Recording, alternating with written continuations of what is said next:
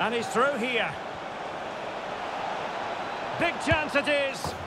It's gone in! And well, he might celebrate on the back of that.